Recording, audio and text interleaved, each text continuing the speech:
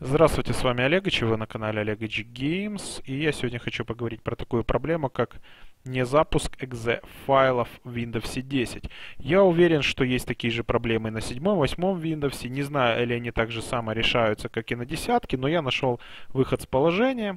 Можете спокойненько правой кнопочкой нажимать на файле, заходить в свойства, ставим галочку на разблокировать, применить ОК, и ваш .exe файл должен уже запускаться. С вами был Олег это канал Олег Games. Ставьте лайки, подписывайтесь на канал, оставляйте свои комментарии. До встречи.